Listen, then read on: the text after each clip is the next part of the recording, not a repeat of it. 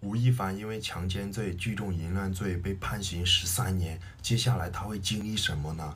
和我之前一样，去监狱里面服刑改造。可能有的人会问呢，他会不会被特殊照顾呢？我跟大家说，他在外面啊，作为一个明星，有着很大的光环，但是到了里面服刑改造之后呢，啊，他跟所有人都是一模一样的，穿着灰色的、带着斑马条的囚服在里面服刑改造。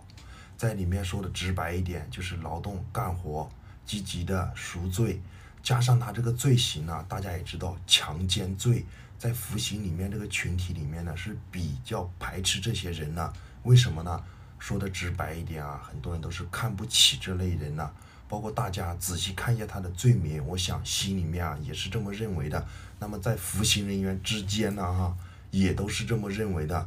可能有的人认识他，大部分人都知道他，他一下子去坐牢去了哈。那么在里面的服刑人员也是非常的震撼的啊。但是大家有没有人会去巴结他呢？也会有啊，有一些啊，做个十年二十年的哈，这个人长得哈，起码在性别上面还是比较模糊的。你说大家说里面的人受不受欢迎呢？我感觉哈，应该是很受欢迎的。他在里面呢。我说句实在的哈，他虽然说家里面很有钱，很有家底，但是呢不好使，在里面所有人都是一模一样的啊，在里面服刑改造，没有什么特殊的照顾呢。还有的人问他会不会住单间呢？